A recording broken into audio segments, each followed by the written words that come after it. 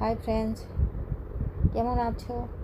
এসে গেছি একটা নতুন রেসিপি নিয়ে। নতুন না, অনেক পুরনো। আমরা সবাই চিনি এই রেসিপি ভেরি কমেন তো আজকে আমি চিংড়ি মাছের দো পেঁয়াজি বানাবো। চলো, দেখতে থাকো। আর সঙ্গে আছে উচ্ছে ভাজা। আলু দিয়ে উচ্ছে ভাজি করেছি। সেটাও থাকবে এটার মধ্যে। প্রথমে আমি চিংড়ি মাছগুলো ছাড়িয়ে নিচ্ছি। চিংড়ি মাছ কী করে ছাড়াতে হয়? দেখে নাও। প্রথম আমি ওই যে হাত পা কি থাকে সরু সরু ওটা কেটে কেটে দিলাম কাঁচি দিয়ে। তারপরে মাথাটা, যেটা মাথা ওই কেটে খোসাটা ছাড়িয়ে দিলাম। মাথা আর লেজ আমি একটু কনফিউজ থাকি এতে। কোনটা মাথা, কোনটা লেজ আমি বুঝতে পারি না। তো খোসা ছাড়ানো হয়ে গেছে। আর ওই যে পিছনে যে জায়গাটায় ময়লা থাকে, ওই ছোট করে, ওরে একটা পুটলি থাকে, ওটা আমি চামড়াটা বার করে জল ছেড়ে দিলাম, পরিষ্কার হয়ে গেল। তারপর এই যে পিছনে একটা রক থাকে। ছুরি দিয়ে কেটে রকটা বার করে নিচ্ছি। এই যে সুতোর মতো সরু থাকে রকটা এই যে এরকম থাকে, এটা বার করে নিতে হয়। এক এক সময় এই রগের ভেতরে বালি মাটি থাকে, যার কারণে এটা বার করে দেওয়াটাই ভালো। তো হয়ে গেল আমার চিংড়ি মাছ পরিষ্কার করা। এই যে এইভাবে পরিষ্কার করতে হয়।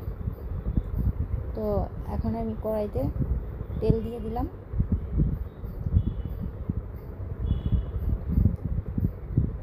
তেলটা গরম হচ্ছে, এদিকে আমি মশলাটা দিয়ে চিংড়ি মাছ ভালো করে মেখে নিব। হলুদ দিলাম, হাফ চামচের কম। লঙ্কা দিলাম, হাফ চামচ। লঙ্কা পাউডার, স্বাদ মতো নুন। আর দিয়ে দিলাম একদমই একটুখানি আদা, রসুন বাটা। একটু ধনে পাউডার, একদমই একটুখানি, আর একটু জিরে পাউডার। দিয়ে ভালো করে মিশিয়ে দিলাম। এই যে মাছের গায়ে যেন লেগে যায়, এত ভালো করে হাত দিয়ে মেখে নিতে হবে। মেখে না মানে ওই হলো আর কি, গায়ে লাগিয়ে দিতে হবে মশলাটা। তো আমার হয়ে গেল মশলা মাখানো। এবার একটা একটা করে তেলে ছেড়ে দিলাম।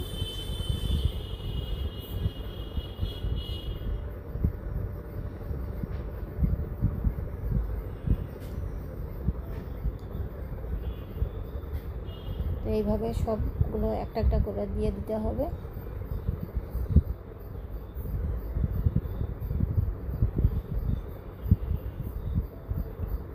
তো এখন উল্টো করে দিচ্ছি।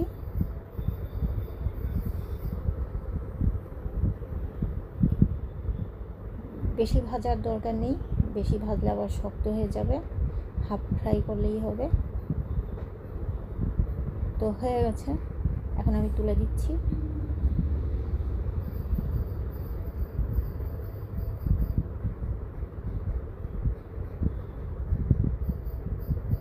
মাছগুলো ভাজা হয়ে গেছে, এখন আমি কড়াইটা ধুয়ে ওই কড়াইতে আবার আমি তেল দিয়ে দিয়েছি।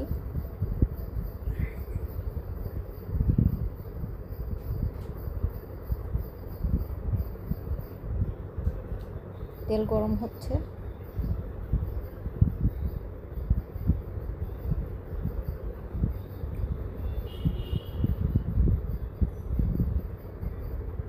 তেল গরম হয়ে গেছে। আমি আদা রসুন চপ করে রেখেছিলাম। দিয়ে দিচ্ছি।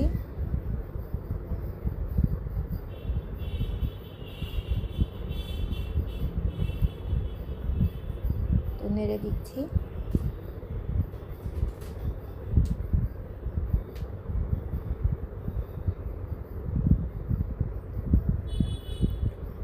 তো এখানে আমি চারটে পেঁয়াজ কুচিয়ে রেখেছিলাম। এখন পেঁয়াজ কুচিগুলো দিয়ে দেব। মিডিয়াম সাইজ চারটে পেঁয়াজ কেটে রেখেছিলাম। তো আদা রসুন আমার এদিকে হয়ে গেছে, নেড়ে দিয়েছি। এখন এটা লাল হওয়ার আগেই পেঁয়াজগুলো দিয়ে দেব। এই যে পেঁয়াজগুলো দিয়ে দিচ্ছি।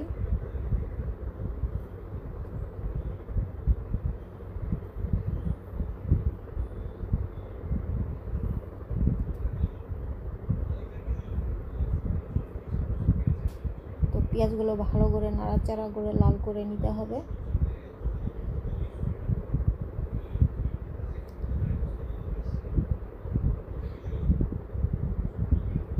পেঁয়াজটা ভালো করে ফ্রাই করার দরকার আছে।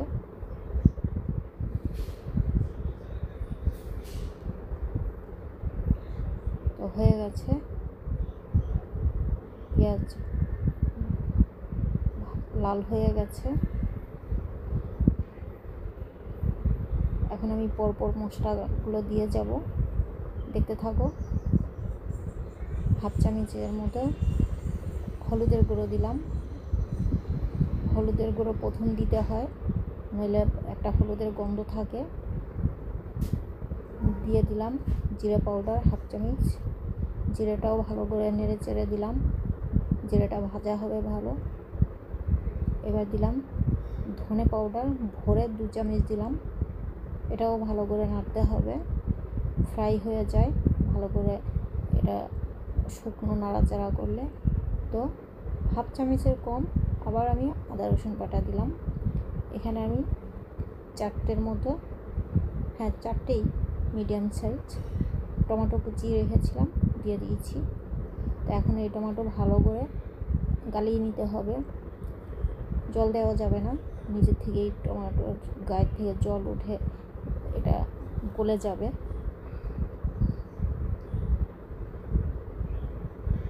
স্বাদ মতো নুন দিলাম। ভরে এক চামচ দিয়েছি।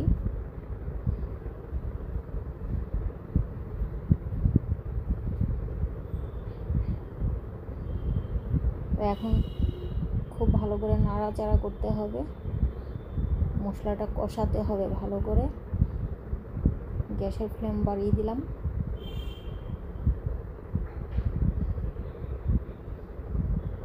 ধৈর্য ধরে নাড়তে হবে তো এই মশলার থেকে তেল উঠবে। যতক্ষণ তেল না উঠবে, নাড়াচাড়া করতে হবে। ভরে এক চামচ লঙ্কা পাউডার দিলাম।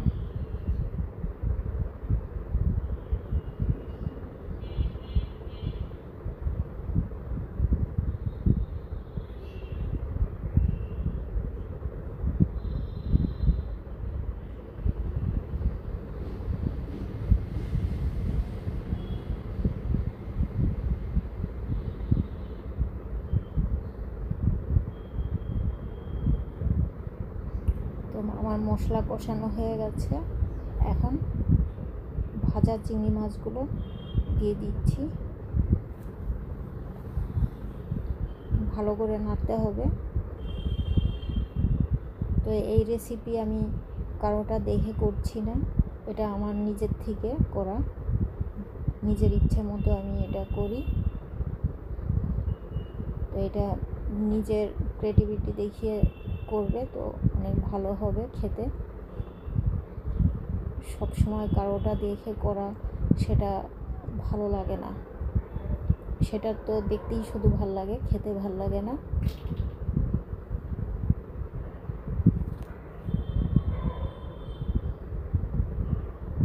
মন থেকে চাইলে অনেক কিছু করা যায়।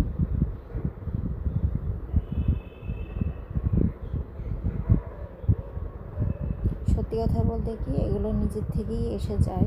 রান্না করতে করতে, রান্নার আইডিয়া নিজের থেকে এসে যায়। তো আমার চিংড়ি মাছ কষানো হয়ে গেছে।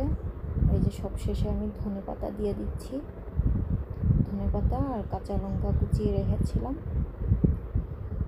দিয়ে দিচ্ছি।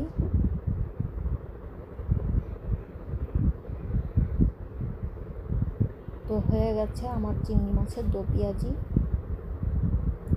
তোমরা একবার ট্রাই করতে পারো।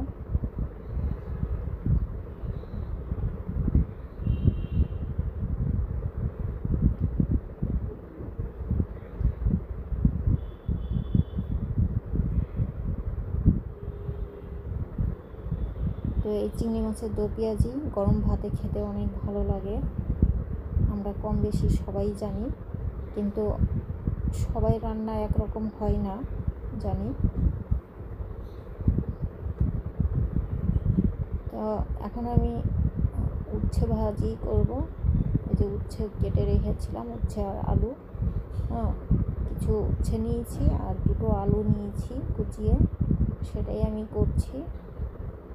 আজকে রান্নার মেনুতে এটাই আছে আমার।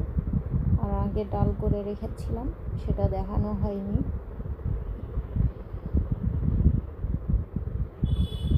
তো উচ্ছে ভাজিটাও আমার হয়ে গেছে।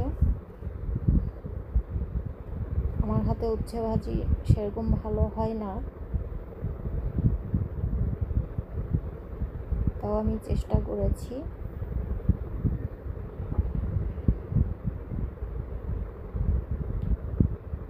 তো উচ্ছে ভাজিটা আমি পুরোটা দেখাইনি, কারণ উচ্ছে ভাজি করতে অনেকটাই তেল লাগে, আবার অনেকে তেল পছন্দ করে না, যার জন্য আমি দেখাইনি। তোমরা কে কীভাবে উচ্ছে ভাজি খাও, একবার কমেন্ট করে জানাবে। তোমাদের মতো করার চেষ্টা করব।